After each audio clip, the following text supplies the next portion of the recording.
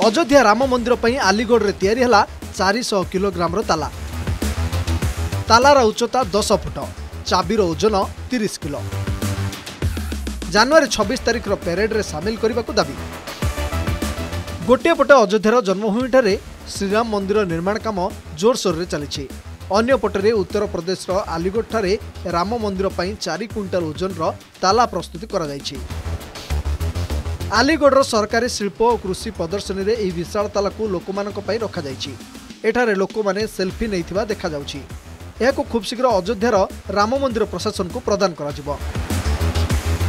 ଆଲିଗଡ଼ ସହରର ଜ୍ୱାଲାପୁରୀର ନିବାସୀ ସତ୍ୟପ୍ରକାଶ ଶର୍ମା ଅନ୍ୟ କାରିଗରମାନଙ୍କ ସହ ମିଶି ଏହି ବିଶାଳକାୟ ତାଲାକୁ ତିଆରି କରିଛନ୍ତି।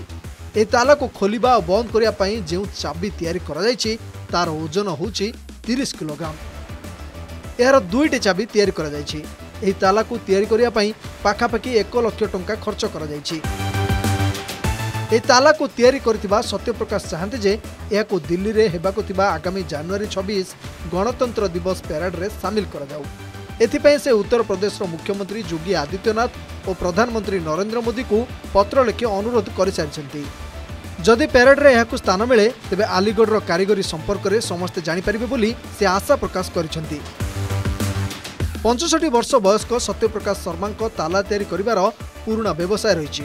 ସେ ଅର୍ଡର ନେବା ପରେ ତାଲା ତିଆରି କରି ଯୋଗାଇଥାନ୍ତି। ଏହା ପୂର୍ବରୁ ସେ ତିନିଶହ କିଲୋଗ୍ରାମର ଏକ ତାଲା ତିଆରି କରି ଚର୍ଚ୍ଚାରେ ଆସିଥିଲେ। ଏବେ ଚାରିଶହ କିଲୋଗ୍ରାମର ତାଲା ତିଆରି କରି ନିଜର ରେକର୍ଡକୁ ଭାଙ୍ଗିଛନ୍ତି। ସେ କହିଛନ୍ତି ଯେ ଅଯୋଧ୍ୟା ପଠାଯିବା ପୂର୍ବରୁ ଏହି ତାଲାରେ ଅନେକ ପରିବର୍ତ୍ତନ କରାଯିବ। ବନ୍ଦନା ରାୟଙ୍କ ଇନପୁଟ୍ ସହ ବ୍ୟୁରୋ ରିପୋର୍ଟ ଅର୍ଗସ୍ ନ୍ୟୁଜ୍।